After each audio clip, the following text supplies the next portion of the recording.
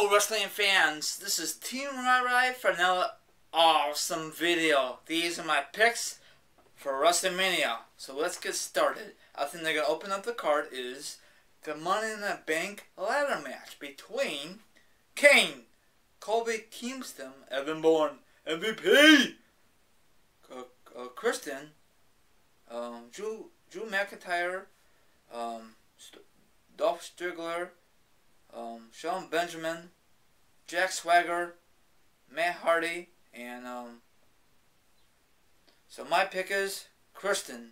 Then he could cash in that night or next pay per view or whenever he wants to.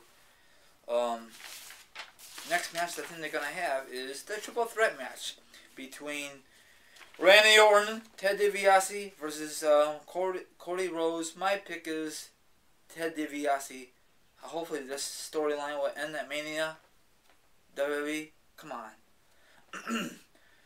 um, the, the Unified Tag Team Champions, ShoMiz versus John Morrison and R-Truth. I think my pick is still champion, ShoMiz. Um, Bret Hart versus Mr. McMahon. This is a hitting rival really, ever since the 97 month the screw job. My my pick is Bret. He's gonna destroy um, Mr. McMahon. And Triple H versus Sheamus is gonna be a sleeper match. But if I had a pick, I would like to see Sheamus. But most likely it's gonna be Triple H because the politics and all that all that stuff. So my pick is Triple H.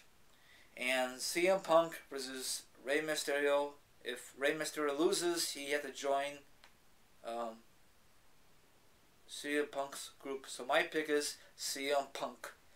Um, okay, the WWF champion Batista versus John Cena. This has been heating up ever since SummerSlam 08.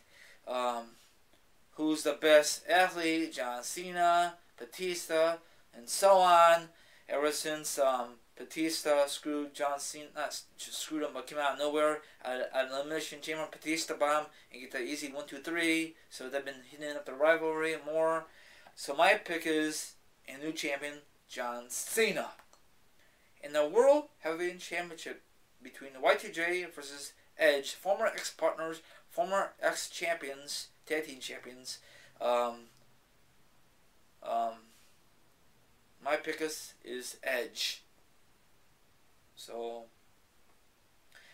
it's gonna be a great hell of a uh, WrestleMania. I think it's a lot better than WrestleMania last year. That's just my opinion. Oh yeah, one more match I forgot. Sorry everyone. Uh, the best match of the night, probably. They've been talking about it for months, weeks. Uh, the Undertaker versus HBK, Career versus Streak. Uh, no disqualification match. My pick is sorry everybody. The Undertaker. I might be wrong, but you never know about the WWE. And um, I know I mentioned about the two new champions, but right, right, watching us say, right, right, you crazy. Two new champions, but you never know, everybody. Uh, WWE might change their um their um their, their, their, they might change their mind when they want two new champions, but I could be wrong. But it's just predictions. I'm not making a bet on it, so don't hold me to it. So um, that's it. It's nine matches. I just can't believe they put ten people in the Money Bank match. So I'd like to hear from your opinion. Why put ten people? I like the original plan.